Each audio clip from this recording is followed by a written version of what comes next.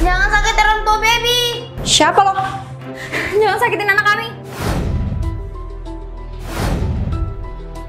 Jadi dia ini anak haram kalian. Nona, jaga ya mulut kamu. Anak haram itu apa? Jangan didengerin ya sayang. Kalau kamu udah gak punya urusan, mending kamu pergi sekarang dari rumah ini. Kamu ke mana? Mau makan bareng baby nggak? Aku mau makan sama papaku yang nunggu. Pa, maaf ya. Nona nggak bisa balas dendam. Halo Kak Nana. Heh, lo ngapain di sini? Katanya baby mau makan bareng kalian. Mama? Mama, kita makan bareng Kak Nona ya ya, ya. Maaf ya udah pernah ninggalin kamu. Sekarang aku janji bakal ngurusin kamu dan Nona.